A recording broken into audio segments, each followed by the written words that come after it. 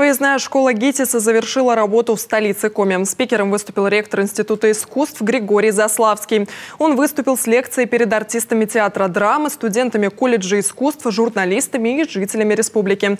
Отметим, ГИТИС сотрудничает с Коми с 2019 года. Уникальный образовательный интенсив – прекрасная возможность получить знания от ведущих преподавателей вуза. Я хочу поблагодарить коллег из Российского института театрального искусства за то, что, э, несмотря на свой плотный творческий график, все-таки уделили внимание и приехали в нашу столицу. Показать сегодня, поделиться сегодня своим опытом с нашими студентами, с нашими режиссерами, с нашими творческими деятелями. Э, очень символично, что в этом году мероприятия эти проходят в рамках Года молодежи, который у нас проходит, и, конечно, в рамках э, педагога и наставника в нашей стране. Ректор ГИТИСа рассказал о том, что театр сегодня как никогда нужен зрителю. Во время проведения специальной военной операции это некая социальная терапия, а артистам необходимо ежедневно повышать свое мастерство.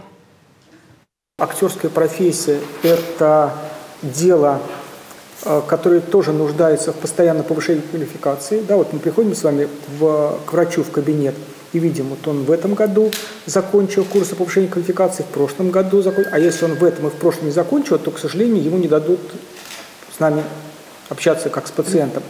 А у актеров почему-то ощущение, что если он закончил э, даже какой-нибудь самый э, хороший э, институт, что он больше уже не должен нигде учиться.